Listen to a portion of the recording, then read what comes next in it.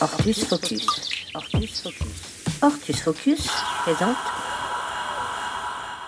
Je suis depuis quelques années maintenant en recherche de traitements non chimiques et j'utilise, euh, j'ai utilisé avant l'aromathérapie, j'ai utilisé l'homéopathie. Et à la suite de ça, j'ai rencontré mon ami Jean-Yves Ménien de- dans le Luberon qui, lui, ajoutait à son homéopathie de l'aromathérapie. Donc il a créé un mélange d'huile essentielle euh, pour euh, lutter contre les maladies et renforcer la vigueur des plantes euh, de manière naturelle. Voilà.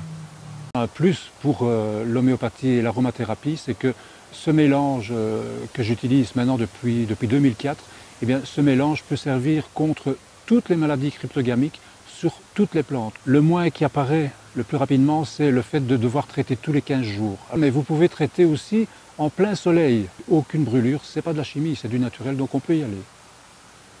Le- Le premier traitement, il faut quand même le rappeler, le premier traitement pour euh, avoir un jardin en pleine forme, des plantes euh, saines, c'est d'abord de les nourrir correctement. Euh, et alors à la suite de ça, on peut les aider encore un peu plus euh, grâce à ce traitement naturel. Avec l'homéopathie, on peut surdoser, il n'y a aucun problème. Euh, avec l'aromathérapie, par contre, il faut faire plus attention. Néanmoins, j'ai fait une fois un test, c'est-à-dire que euh, ben, dix jours avant la fête que nous organisons ici à la pépinière euh, fin juin, euh, j'ai eu une grosse attaque d'oïdium sur une variété de rosiers. J'ai surdosé l'homéopathie, j'ai surdosé l'aromathérapie et j'ai surdosé le lait euh, que j'ajoute à, ces deux produits.